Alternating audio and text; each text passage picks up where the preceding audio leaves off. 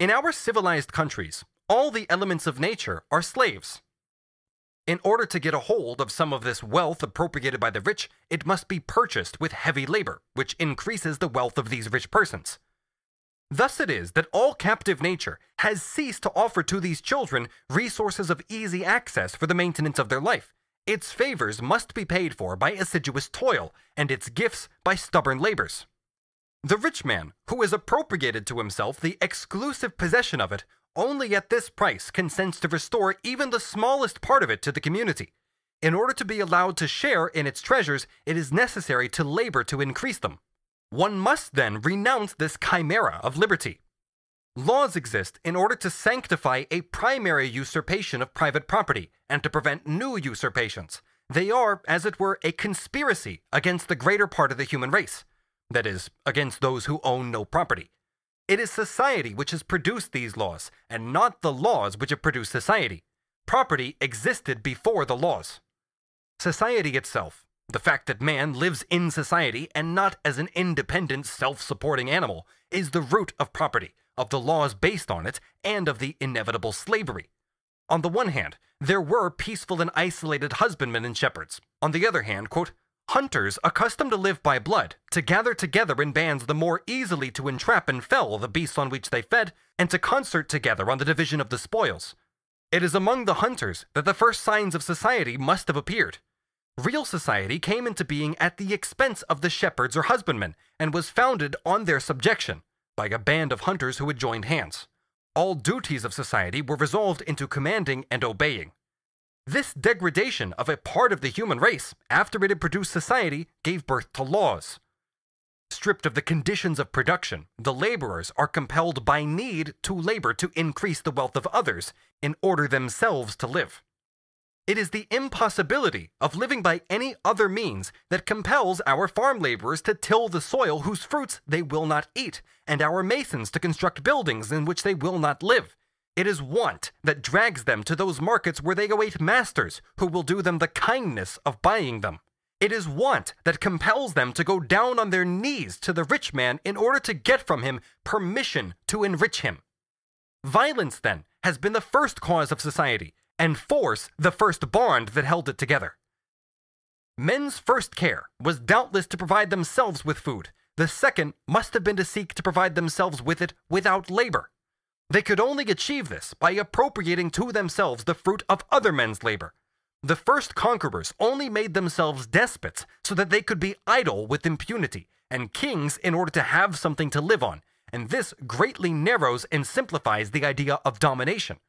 Society is born of violence, and property of usurpation. As soon as there were masters and slaves, society was formed. From the beginning, the two pillars of the civil union were on the one hand the slavery of the greater part of the men, and on the other the slavery of all the women. It was at the cost of three quarters of its members that society assured the happiness, the opulence, the ease of the small number of property owners whom alone it had in view. The question, therefore, is not to examine whether slavery is contrary to nature in itself, but whether it is contrary to the nature of society. It is inseparable from it. Society and civil servitude were born together. Permanent slavery, the indestructible foundation of societies.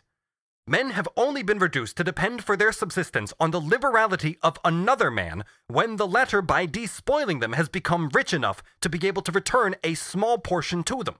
His feigned generosity could be no more than a restitution of some part of the fruits of their labors which he had appropriated. Does not servitude consist in this obligation to sow without reaping for oneself, to sacrifice one's well being to that of another, to labor without hope? And did not its real epoch begin from the moment when they were men whom the whip and a few measures of oats when they were brought to the stable could compel to labor? It is only in a fully developed society that food seems to the poor starveling a sufficient equivalent for his liberty. But in society in its early stages, free men would be struck with horror at this unequal exchange. It could only be proposed for captives. Only after they have been deprived of the enjoyment of all their faculties can the exchange become a necessity for them. The essence of society consists in freeing the rich man from labor, giving him new organs, untiring members which take upon themselves all the laborious operations, the fruits of which he is to appropriate. That is the plan which slavery allows him to carry out without embarrassment. He buys men who are to serve him. In suppressing slavery, no claim was made that either wealth or its advantages were suppressed. It was therefore necessary that things should remain the same except in name. It has always been necessary for the majority of men to continue to live in the pay of and independence on the minority, which has appropriated to itself all wealth. Slavery has therefore been perpetuated on the earth, but under a sweeter name. Among us now, it is adorned with the title of service. By these servants, Linguet says, he does not mean lackeys and the like. The towns in the countryside are peopled by another kind of servant, more widely spread, more useful, more laborious, and known by the name of journeymen, handicraftsmen, etc. They are not dishonored by the brilliant colors of luxury. They sigh beneath the loathsome rags which are the uniform of penury. They never share in the abundance of which their labor is the source. Wealth seems to grant them a favor when it kindly accepts the presents that they make to it. It is for them to be grateful for the services which they render to it.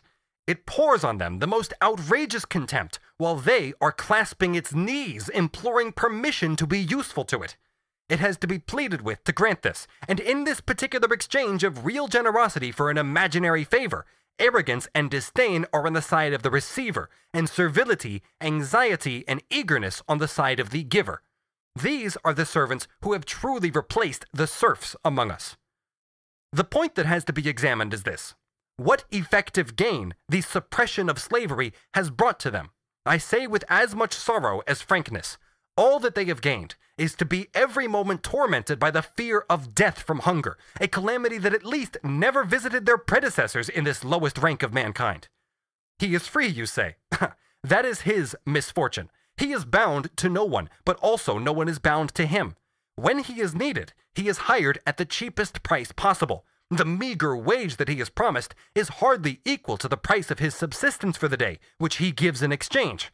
He is given overlookers to compel him to fulfill his task quickly. He is hard driven. He is goaded on for fear that a skillfully concealed and only too comprehensible laziness may make him hold back half his strength, for fear that the hope of remaining employed longer on the same task may stay in his hands and blunt his tools. The sordid economy that keeps a restless watch on him overwhelms him with reproaches at the slightest respite he seems to allow himself, and claims to have been robbed if he takes a moment's rest. When he is finished, he is dismissed as he was taken on, with the coldest indifference, and without any concern as to whether the twenty or thirty sous that he has just earned for a hard day's labor will be enough to keep him if he finds no work the following day. He is free. That is precisely why I pity him. For that reason, he is much less cared for in the labors in which he is used. His life is much more readily hazarded. The slave was precious to his master because of the money he had cost him, but the handicraftsman costs nothing to the rich voluptuary who employs him. Men's blood had some price in the days of slavery. They were worth at least as much as they could be sold for in the market. Since they have no longer been sold, they have no real intrinsic value. A pioneer is much less valued in an army than a pack horse, because the horse is very costly and the pioneer can be had for nothing. The suppression of slavery brought these military calculations into civil life, and since that epoch, there has been no prosperous bourgeois who does not calculate in this way, as heroes do. The day laborers are born, grow up, and are trained for, they are bred for the service of wealth without causing it the slightest expense, like the game that it massacres over its estates. It seems as if it really has the secret of which the unfortunate Pompey vainly boasted. Wealth has only to stamp on the ground, and from it emerge legions of hard-working men who contend among themselves for the honor of being at its disposal. If one among this crowd of mercenaries putting up its buildings or keeping its garden straight disappears, the place that he has left empty is an invisible point which is immediately covered again without any intervention from anyone. A drop of the water of a great river is lost without regret because new torrents incessantly succeed it. It is the same with workers. The ease with which they can be replaced fosters the rich man's hard heartedness towards them. This is the form used by Linguet, not yet capitalist. These men, it is said, have no master. Pure abuse of the word. What does it mean they have no master? They have one, and the most terrible, the most imperious of masters, that is, need. It is this that reduces them to the most cruel dependence. It is not one man in particular whose orders they must obey, but the orders of all in general. It is not a single tyrant whose whims they have to humor, and whose benevolence they have to court, which would set a limit to their servitude and make it endurable. They become the valets of anyone who has money, which gives their slavery an infinite compass and severity. It is said that if they don't get on well with one master, they at least have the consolation that they can tell him so and the power to make a change, but that the slaves have neither the one nor the other. They are therefore all the more wretched. What sophistry! For bear in mind that the number of those who make others work is very small, and the number of workers, on the contrary, is immense. What is this apparent liberty which you have bestowed on them, reduced to, for them? They live only by hiring out their arms. They must therefore find someone to hire them, or die of hunger. Is that to be free? What is most terrible is that the very smallness of this pay is another reason for producing it. The more the day laborer is driven by want, the cheaper he sells himself. The greater the urgency of his need, the less profitable is his labor. The despots, for the moment, whom he beseeches with tears to accept his services, feel no shame in, as it were, feeling his pulse, to assure themselves that he has enough strength left.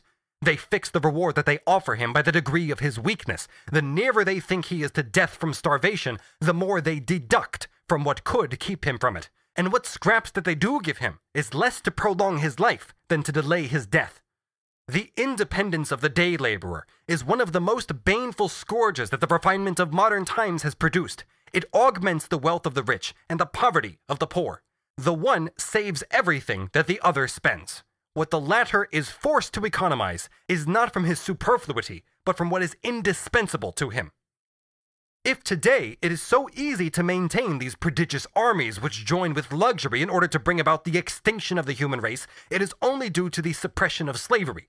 It is only since there have no longer been slaves that debauchery and beggary make heroes at five sous a day. I find this, that is, Asiatic slavery, a hundred times more preferable than any other way of existing for men reduced to having to win their livelihood by daily labor. The slaves and the laborers' chains are made of the same material and only differently colored.